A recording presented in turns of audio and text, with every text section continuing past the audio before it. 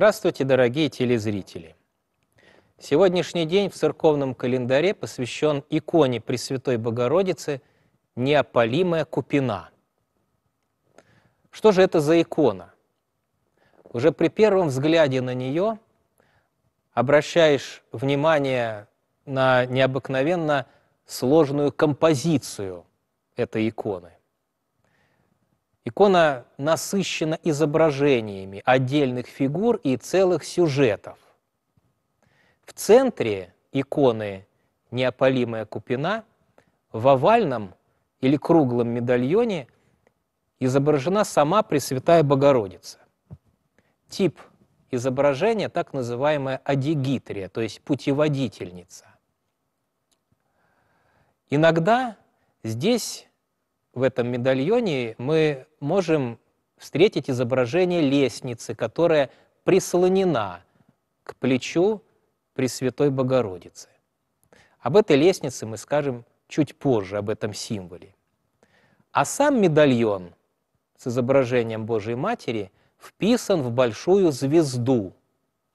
Эта звезда состоит из восьми лучей. Причем четыре луча у звезды зеленых и четыре луча у звезды красного цвета. В зеленых лучах изображаются ангелы, олицетворяющие природные стихии, а в красных лучах изображаются символы евангелистов – ангел, орел, телец и лев. И, наконец, по углам самой большой иконы всей этой иконы тоже четыре изображения, изображения событий, о которых рассказывает священное писание Ветхого Завета. Что за события из ветхозаветного времени изображены вот по четырем углам большой иконы «Неопалимая купина»? Вообще время Ветхого Завета, так мы называем эпоху до пришествия в мир Господа и Спасителя Иисуса Христа. Подлинный смысл священного писания Ветхого Завета раскрывается, если мы смотрим на него сквозь призму Нового Завета. То есть сначала мы читаем Евангелие, книги, написанные в период Нового Завета – и прочитав Евангелие, лучше понимается смысл писания ветхозаветных авторов, ветхозаветных пророков. Дело в том, что ветхозаветные книги наполнены указаниями на события, которые совершатся на земле в период Нового Завета. Эти указания различны. Могут в Ветхом Завете содержаться прямые пророчества. Ну, помните, в праздник Рождества Христова много раз в храмах поется, читается знаменитый текст из книги ветхозаветного пророка Исаии «Се дева в чреве приимет и родит сына». Это древнее ветхозаветное пророчество о рождении Христа в мир от Девы. Возьмем другую книгу Ветхого Завета, тоже хорошо известную, это «Псалтырь», написанная пророком и псалмопевцем Давидом. Вот в Псалтыре тоже есть такие ясные, точные, прямые указания на будущие события Нового Завета. Есть точные указания на будущие страдания Христа Спасителя.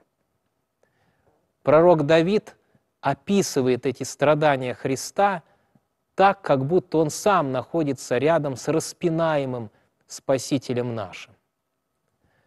Но много в текстах Ветхого Завета содержится не прямых пророчеств, а неких таинственных указаний на события новозаветные. Это так называемые символические видения, таинственные указания, таинственные образы, они э, с первого чтения непонятны, но становятся понятными, если перед тем, как читать Ветхий Завет, ты прочитал Новый Завет. Они понимаются читателям по мере того, как происходит его знакомство с Новым Заветом. И вот к числу таких символических видений, описанных в Ветхом Завете, к числу так называемых ветхозаветных прообразов Бога воплощения относятся четыре видения, которые как раз изображены по углам вот этой самой иконы, память которой мы сегодня совершаем, иконы неопалимая купина. Вот первое из этих э, образов, из этих видений. Оно и дало название самой иконы. Это некое э, видение, некий образ, который описан в ветхозаветной книге «Исход» в третьей главе, втором стихе. Великий пророк Моисей, тогда еще молодой человек, который ничего не подозревал о своем избрании, пасет скот у своего тестя. И с овцами он забредает далеко в пустыню, приближается к горе Синай и внезапно останавливается, потому что видит чудесное видение. В отдалении от него стоит обыкновенный терновный куст, который загорается, горит огнем и не сгорает. Моисей буквально заворожен этим чудесным видением, он приближается к кусту, и с ним внезапно вступает в беседу сам Бог. И первое, что Бог повелевает Моисею в этот момент, он говорит ему, чтобы тот снял обувь. «Сними обувь с ног, ибо земля, на которой ты стоишь, есть земля святая». А потом сообщает ему, вот при зрении этого горящего и несгорающего куста, сообщает ему, что избирает его как пророка, как вождя народа Израиля. Горящий и несгорающий куст по-славянски звучит как «купина неопалимая». Сегодня на горе Синай воздвигнут величественный православный монастырь. И есть там часовня, которая как раз устроена на том месте, где произрастала та самая неопалимая купина. И корни вот этой неопалимой купины, которую видел непосредственно Моисей, находятся прямо под престолом этой православной часовни, где совершается таинство э, Святой Евхаристии. Ну а само явление Моисею горящего и несгорающего куста, купины неопалимой, считается прообразом рождения в мире Бога-младенца Иисуса Христа. Ведь Христос пришел в мир через Деву Марию, так что сама Дева не претерпела ущерба в своем девстве. Поэтому купина неопалимая и символизирует Божию Матерь, Пресвятую Богородицу. И очень уместно изображение купины неопалимой на иконе, посвященной Божьей Матери. На нашей иконе четыре зеленых луча символизируют как раз растение, купину, а четыре красных – огонь, которым объято было это растение. Но еще три события, о которых рассказывает Ветхий Завет, изображены на этой большой иконе купины неопалимой. Второе – это видение лестницы э, святому праведному Иакову. Об этом видении рассказывает книга «Бытия», 28 главе. Яков, один из праотцев и патриархов еврейского народа, заснул и видит сон, видит лестницу, которая начинается от земли, и конец ее достигает до неба. И ангелы Божии восходят и не сходят по ней и Господь Бог стоит на этой лестнице и вступает в общение с Иаковым, обещает ему, что будет ему покровительствовать и будет покровительствовать народу, который произойдет от Иакова. Это видение лестницы оценивается в христианстве как пророческое. А сама лествица есть символическое указание, опять-таки, на подвиг Пресвятой Богородицы, которая соединила в себе земное и небесное начало. Ведь через нее Бог сошел на землю. Через нее Бог воплотился на земле, как по лестнице сошел на землю.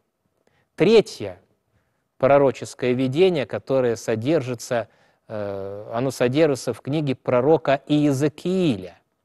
44 глава ветхозаветной книги пророка Иезекииля содержит рассказ о том, как э, к восточным воротам храма был подведен пророк и услышал голос, вот сии ворота будут затворенные и не отворятся, и никакой человек не пройдет ими, только Господь, Бог Израилев, пройдет ими.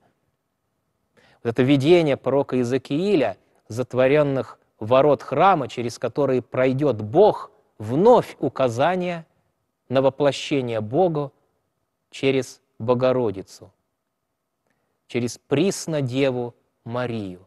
И, наконец, последнее ветхозаветное событие, ветхозаветное видение, которое отражено вот на нашей иконе, это э, изображение так называемого древа Иесеева. О нем можно прочитать в 11 главе книги пророка Исаии.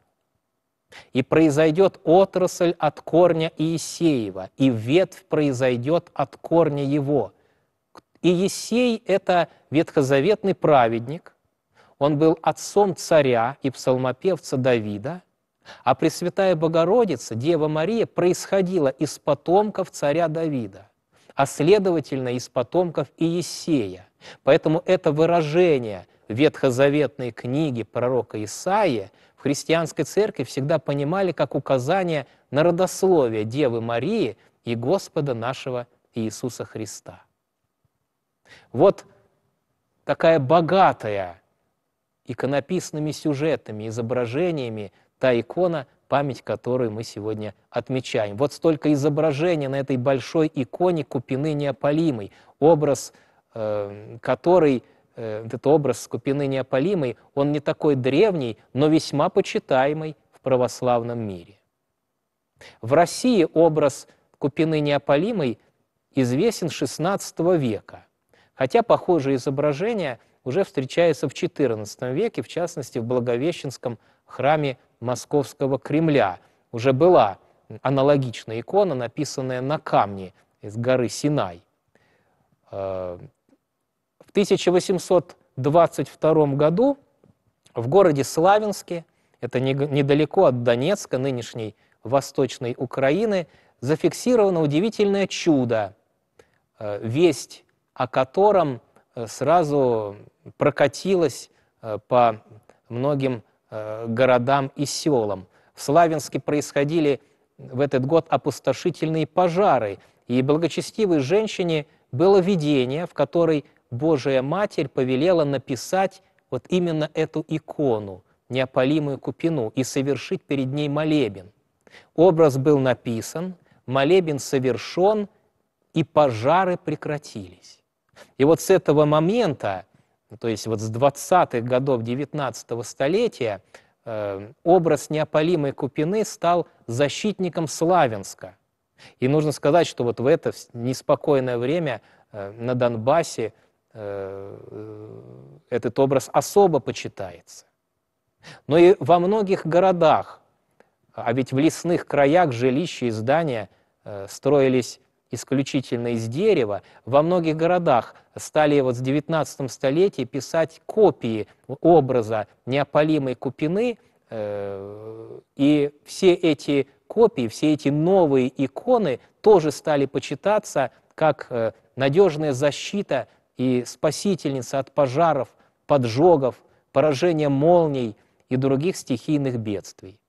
Нужно сказать, что на Украине вот этот день, день прославления иконы Купины Неопалимой с 2008 года является днем профессионального праздника. Дня, это день спасателя, день пожарника. А изображение Купины Неопалимой сегодня очень часто можно встретить в пожарных частях, в подразделениях, э, строят э, многие храмы, особенно там, где есть угроза пожаров.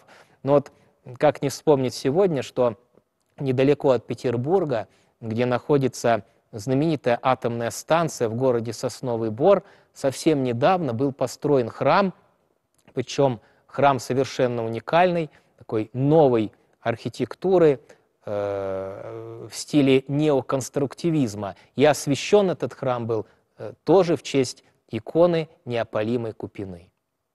Сегодня мы просим Пресвятую Богородицу, чтобы она спасла, защитила нас от пожаров и иных стихийных бедствий.